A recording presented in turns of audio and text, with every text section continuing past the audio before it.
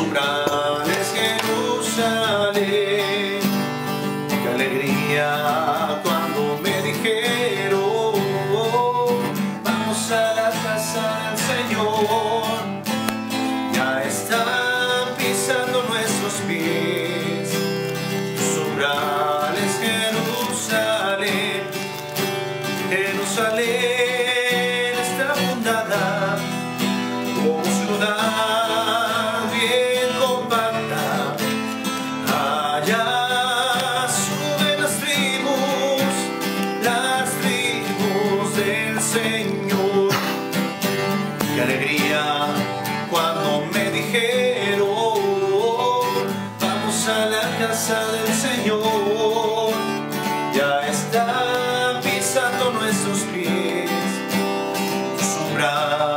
Jerusalén. Según la costumbre de Israel, al celebrar el nombre del Señor, en ella están los tribunales de justicia, en el palacio de David. Qué alegría cuando me dijeron, vamos a la casa del Señor. Ya están pisando nuestros pies, tus umbrales, Jerusalén. Qué alegría cuando me dijeron, vamos a la casa del Señor. Ya están pisando nuestros pies, tus umbrales, Jerusalén.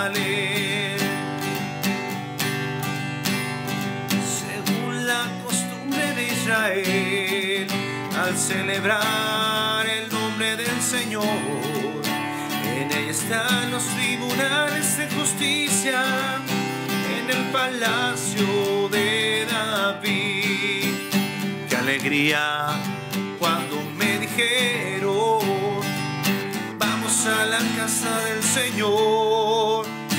Ya están pisando nuestros pies,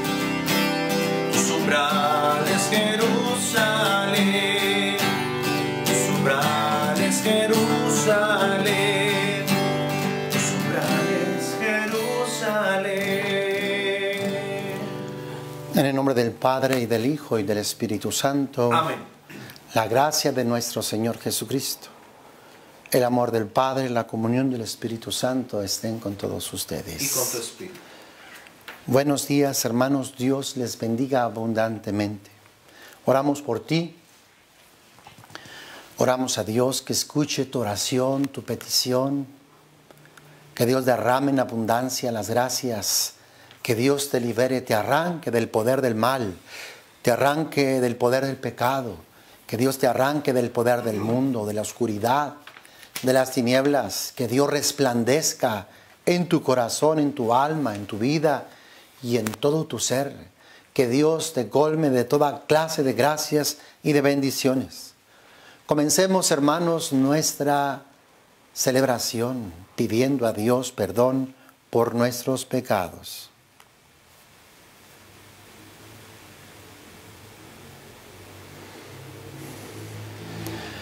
Y juntos digamos, yo confieso ante Dios Todopoderoso y ante ustedes hermanos que he pecado mucho de pensamiento, palabra, obra y omisión, por mi culpa, por mi culpa, por mi gran culpa.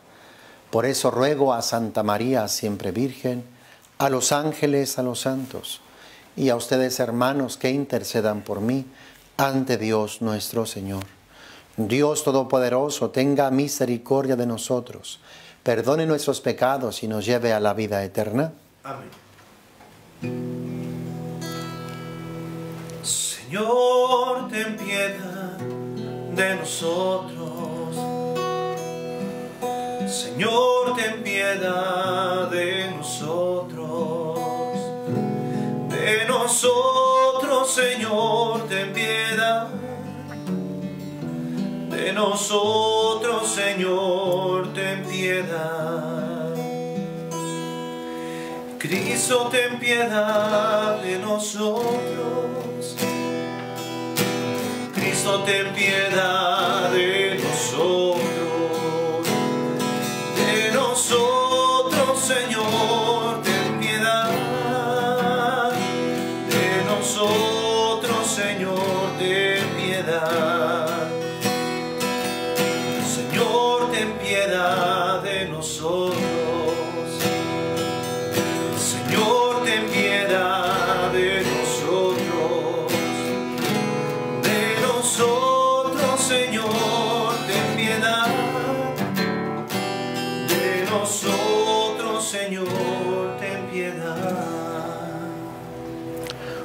Oremos, apiádate Señor de tu pueblo y perdónale todos sus pecados, para que tu indulgencia aleje de nosotros lo que hemos merecido por nuestras ofensas, por nuestro Señor Jesucristo tu Hijo, que vive y reina contigo en la unidad del Espíritu Santo y es Dios por los siglos de los siglos. Amén.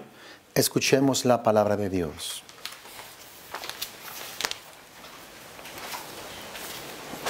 Del libro del Apocalipsis del apóstol San Juan. Yo, Juan, vi un ángel que bajaba del cielo con la llave del abismo y una gran cadena en la mano.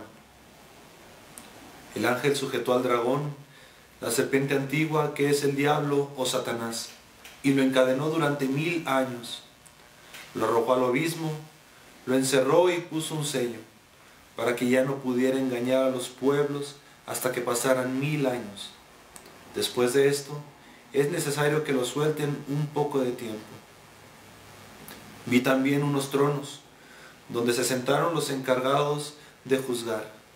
Vi además vivos a los que habían sido sacrificados por dar testimonio de Jesús y proclamar la palabra de Dios. Y a todos los que no adoraron a la bestia ni a su estatua y no se dejaron poner su marca en la frente ni en la mano. Estos revivieron y reinaron con Cristo durante mil años. Vi después un trono brillante y magnífico, y al que estaba sentado en él, y al que estaba sentado en él. El cielo y la tierra desaparecieron de su presencia sin dejar rastro, y vi a los muertos grandes y pequeños, de pie delante del trono. Fueron abiertos unos libros y también el libro de la vida. Los muertos fueron juzgados conforme a sus obras que estaban escritas en los libros. El mar devolvió sus muertos, la muerte y el abismo devolvieron los muertos que guardaban en su seno. Cada uno fue juzgado según sus obras. La muerte y el abismo fueron arrojados al lago de fuego. Este lago es la muerte definitiva. Y a todos los que no estaban escritos en el libro de la vida, lo arrojaron al lago de fuego. Luego vi en el cielo nuevo y una tierra nueva, porque el primer cielo y la primera tierra habían desaparecido y el mar ya no existía. También vi que descendía del cielo, desde donde está Dios, la ciudad santa, la nueva Jerusalén, engalanada como una novia que va a desposarse con su prometido. Palabra de Dios. Te alabamos, Señor.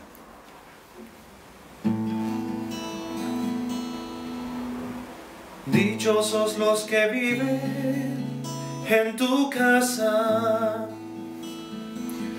Dichosos los que viven en tu casa. Anhelando los atrios del Señor, se consume mi alma. Todo mi ser de gozo se estremece, y el Dios vivo es la causa. Dichosos los que viven en tu casa. Hasta el gorrión encuentra su casa y la golondrina un lugar para su nido. Cerca de tus altares, Señor de los ejércitos, Dios mío. Dichosos los que viven en tu casa. Dichosos los que viven en tu casa, te alabarán para siempre, Dichosos los que encuentran en ti sus fuerzas, pues caminarán cada vez con más vigor.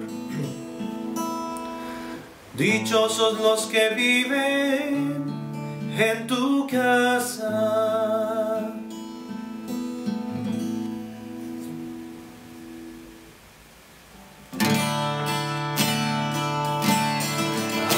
Aleluya, aleluya, aleluya.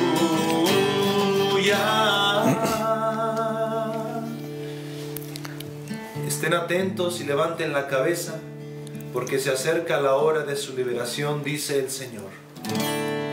Aleluya,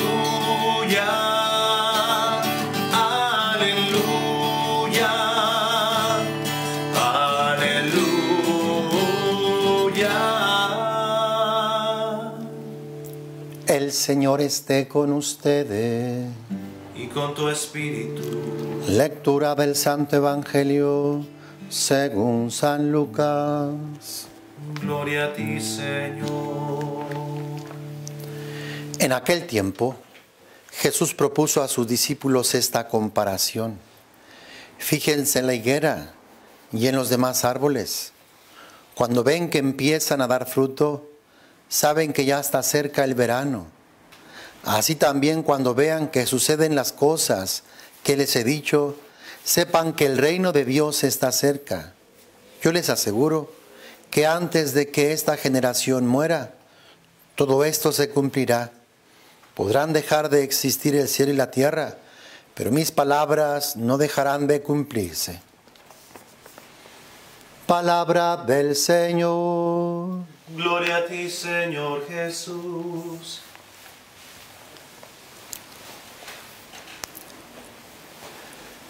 Hermanos, Jesús nos invita a saber leer, a saber discernir los signos de los tiempos. Estamos viviendo estos tiempos duros, difíciles. Dios no es el responsable. Dios no es el culpable. Porque no faltará gente que esta falta de fe, esta falta de gracia, y le eche la culpa a Dios. No faltará gente que diga, si Dios existe, si Dios es poderoso, si Dios es bueno, porque permite esto, que tanta gente se muera, que pasen todas estas cosas. Dios es infinitamente bueno. Y al que más le duele todo lo que está pasando es Dios. Imagínate y tú echándole la culpa a Dios, tú responsabilizando a Dios de todas estas cosas, cuando al que más le duele tu sufrimiento, tu padecimiento es al mismo Dios. Dios no quisiera toda esta maldad, toda esta catástrofe, todos estos males. Dios no se, no se jacta con el sufrimiento del ser humano. Dios es misericordioso, recuérdalo. Dios pone el corazón en nuestras miserias. Dios se duele con nosotros.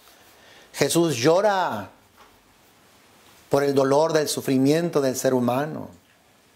Dios quisiera obrar y actuar, pero como el hombre se aleja de Dios, se aparta de Dios, Dios no puede obrar. Por eso es que es bien importante llamar a la gente a la oración, al arrepentimiento, a la conversión. Para que Dios pueda obrar necesita nuestra libertad. San Agustín dijo, Dios que te creó sin ti no puede salvarte sin ti. Dios no puede obrar sin la libertad humana. Sin nuestro libre albedrío Dios no puede hacer nada. Dios obra y actúa cuando el ser humano se arrepiente, se convierte, reconoce su falta y su pecado. Cuando le quitamos terreno al demonio, la autoridad al demonio, es entonces que Dios puede obrar y actuar. Pero mientras no nos arrepintamos, no nos convirtamos, mientras no nos volvamos a Dios, Dios no va a hacer nada porque Él no puede violar. Él no puede pasar por alto su misma palabra. Dios nos ha dado una libertad, un libre albedrío. Y si nosotros rechazamos a Dios, Dios respeta eso.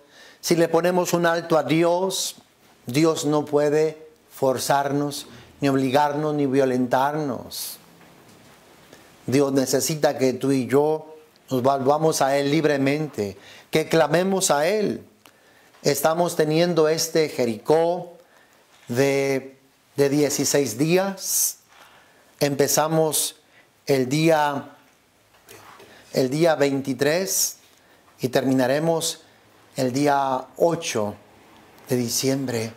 Estaremos orando todo este tiempo y ojalá que podamos alcanzar a muchas más personas a través de este Evangelio, a través del Facebook, del YouTube. Comparte la página, hermanos, para que muchas más personas sean invitadas a pedir a Dios, a reparar todas las faltas, los pecados que hemos cometido.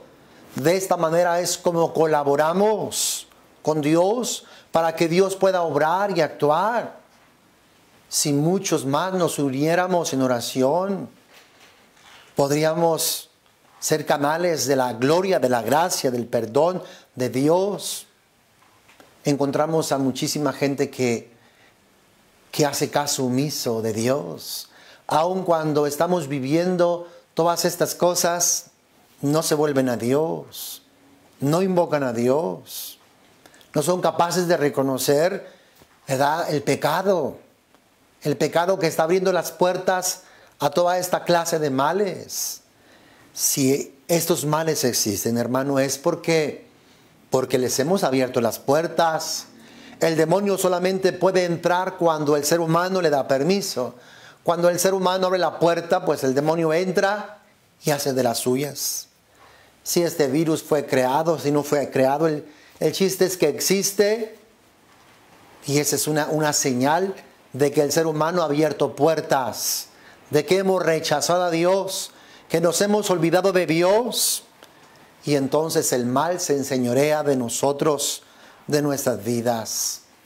Y te repito, al que más le duele es a Dios, porque a veces pensamos que no le importamos, que Dios está lejos, que Dios no se da cuenta, todo lo contrario, Él está cerca y Él está al pendiente de nosotros.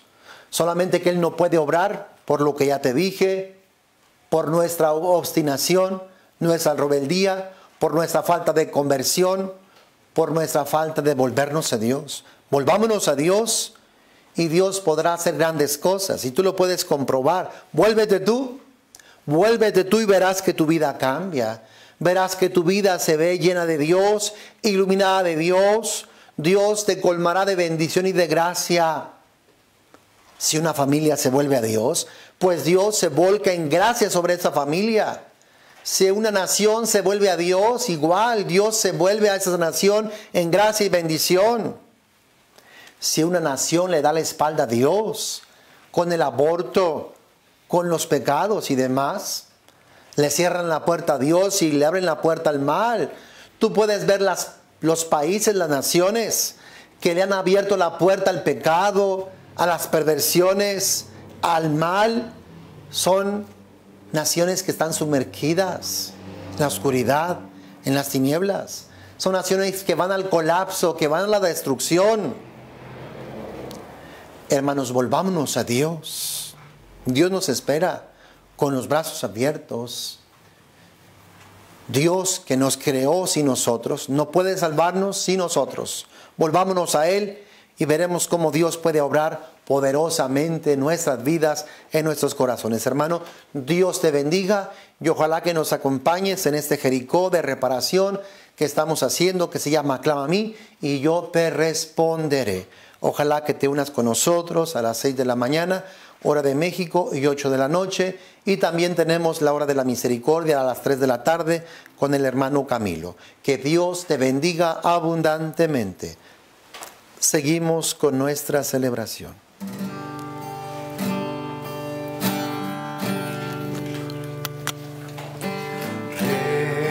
Recibe, oh ofrendas que hoy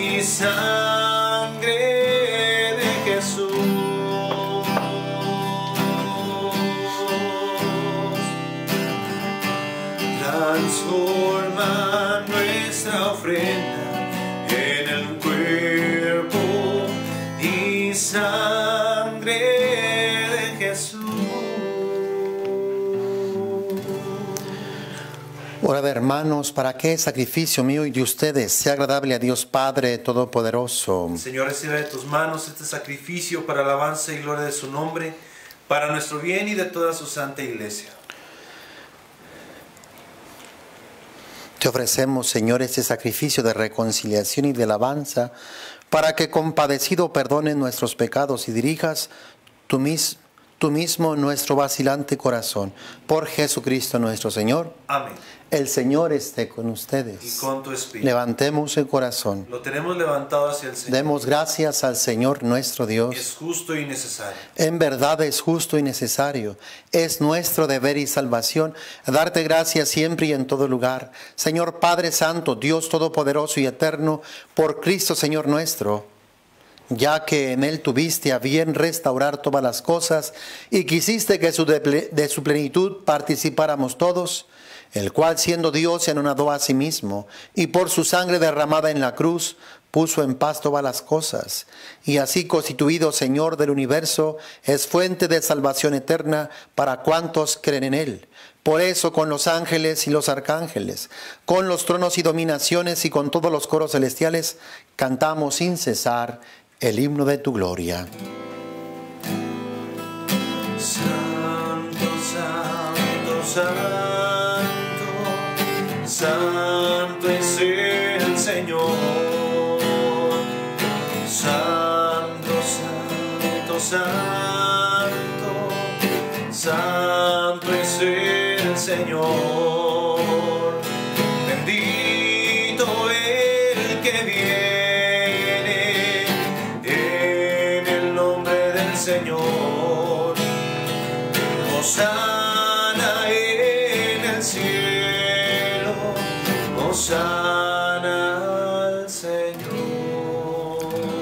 Santo eres en verdad, Señor, fuente de toda santidad.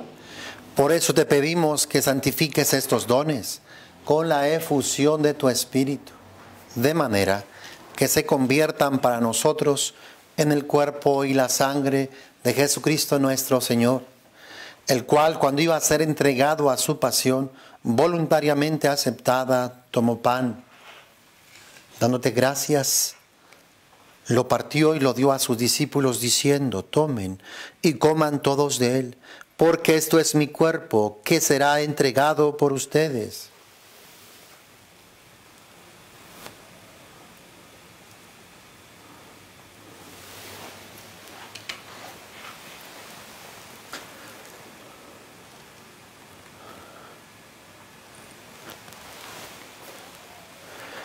Del mismo modo, acabada la cena, tomó el cáliz y dándote gracias de nuevo, lo pasó a sus discípulos diciendo, tomen y beban todos de él, porque este es el cáliz de mi sangre, sangre de la alianza nueva y eterna, que será derramada por ustedes y por muchos para el perdón de los pecados. Hagan esto en conmemoración mía.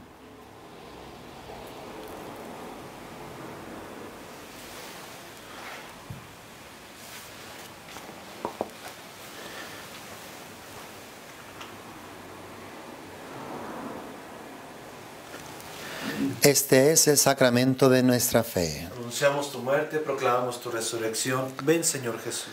Así pues, Padre, al celebrar ahora el memorial de la muerte y resurrección de tu Hijo, te ofrecemos el pan de vida y el cáliz de salvación, y te damos gracias porque nos haces dignos de servirte en tu presencia. Te pedimos humildemente que el Espíritu Santo congregue en la unidad a cuantos participamos del cuerpo y la sangre de Cristo. Acuérdate, Señor, de tu iglesia extendida por toda la tierra, y con el Papa Francisco, con nuestro arzobispo Jesús Carlos, y todos los pastores que cuidan de tu pueblo, llévala a su perfección por la caridad. Acuérdate también de nuestros hermanos que se durmió en la esperanza de la resurrección.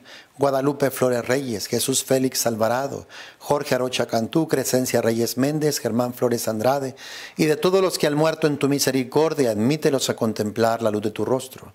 Ten misericordia de todos nosotros, de Saulo, Alfonso Gobea, Ana Nájera, Araceli Ríos, Lucila,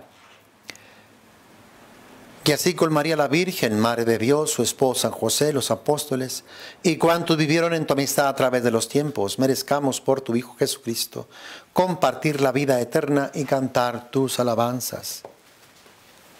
Por Cristo, con Él y en Él, a ti Dios Padre Omnipotente, en la unidad del Espíritu Santo, todo honor y toda gloria por los siglos de los siglos. Amén.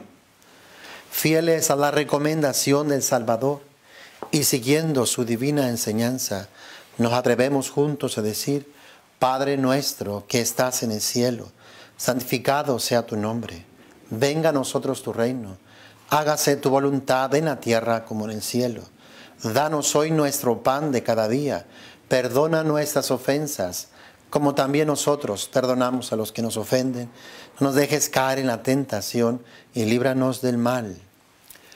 Líbranos de todos los males, Señor, y concédenos la paz en nuestros días, para que, ayudados por tu misericordia, vivamos siempre libres de pecado y protegidos de toda perturbación, mientras esperamos la gloriosa venida de nuestro Salvador Jesucristo. Tuyo es el reino, tuyo el poder y la gloria por siempre, Señor. Señor Jesucristo, que dijiste a tus apóstoles, la paz les dejo, mi paz les doy. No tengas en cuenta nuestros pecados y la fe de tu iglesia. Y conforme a tu palabra, concédele la paz y la unidad. Tú que vives y reinas por los siglos de los siglos. Amén. La paz del Señor esté siempre con ustedes. Con tu espíritu. Nos damos fraternalmente un saludo de paz. Cordero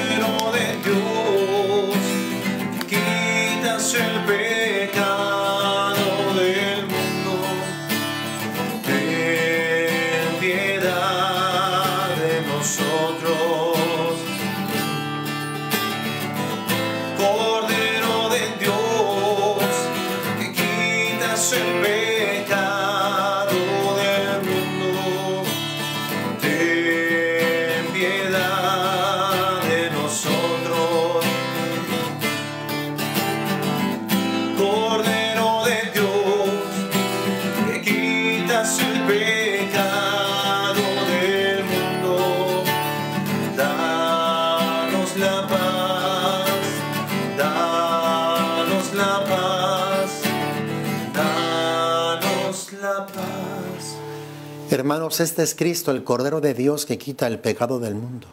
Dichosos los invitados a la cena del Señor. Señor, no signo de que entres en mi casa, pero una palabra tuya bastará para sanar.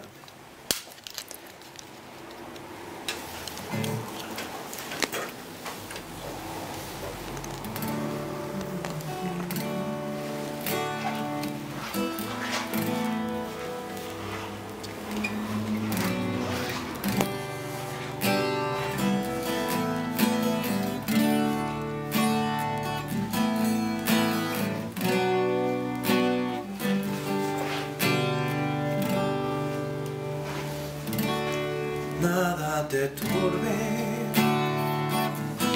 nada te espante, todo se pasa, Dios no se muda. La paciencia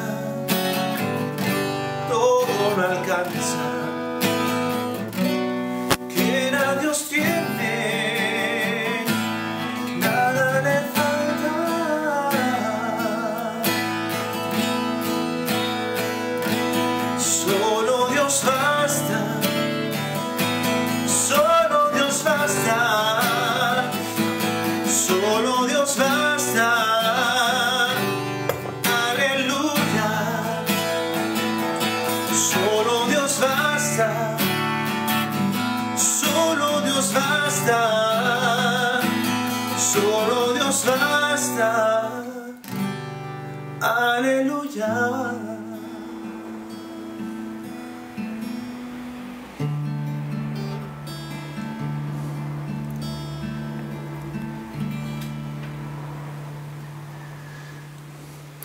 Oración de comunión espiritual. Creo, Jesús mío, que estás real y verdaderamente en el cielo y en el santísimo sacramento del altar. Te amo sobre todas las cosas y deseo vivamente recibirte dentro de mi alma. Mas no pudiendo hacerlo ahora sacramentalmente, ven al menos espiritualmente a mi corazón y como si ya te hubiese recibido, te abrazo y me uno del todo a ti. Señor, no permitas que jamás me separe de ti. Amén. Oremos.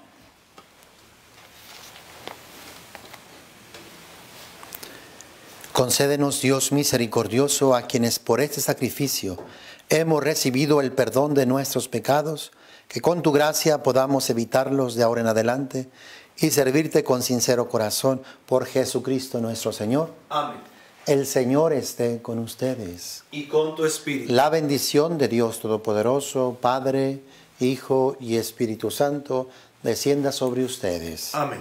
Podemos ir en paz, nuestra celebración ha sido agradable al Señor. Demos gracias al Señor. Dios les bendiga. Dejamos ahí el teléfono de Agustín para quien quiera sus memorias. Y a los de aquí de San Luis les recuerdo que aún todavía tengo libros de Clama a mí, te responderé. Mariano Jiménez 430, de 11 a 1 y de 5 a 7. Bendiciones, que tengan muy buenos días. Gracias Dios, tú nos inundas con tu amor. Cuando tus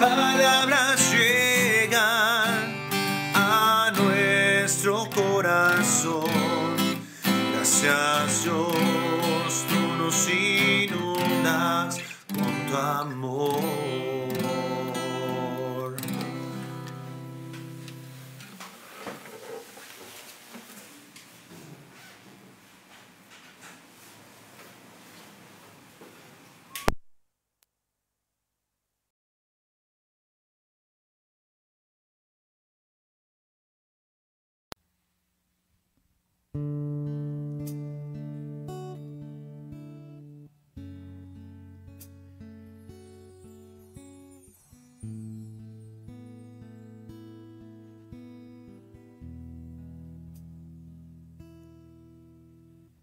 Vio mi condición, no era nadie. Me hizo uno de su pueblo. Real sacerdocio, escogido por Él. Él es mi Padre y yo su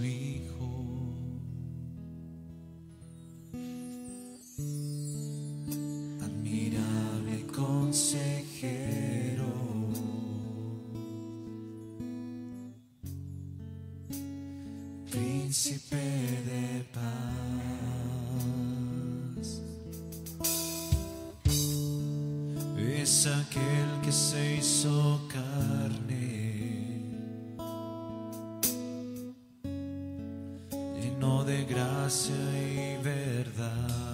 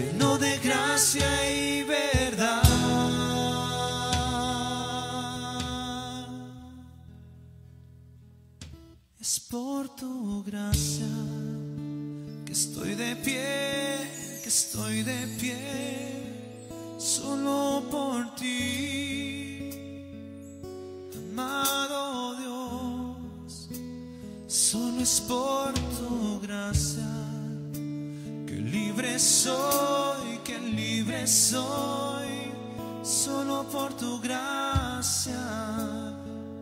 Oh,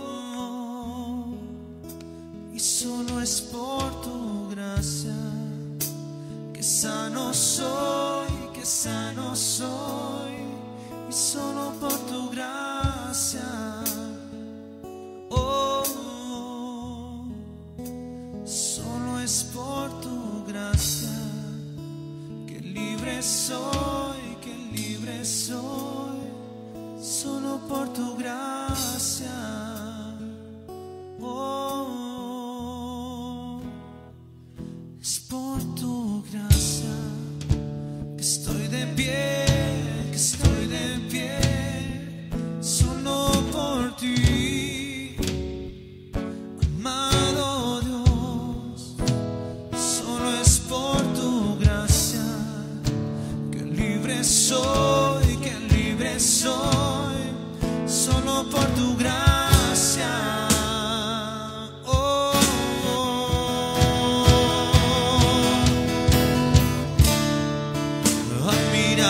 cold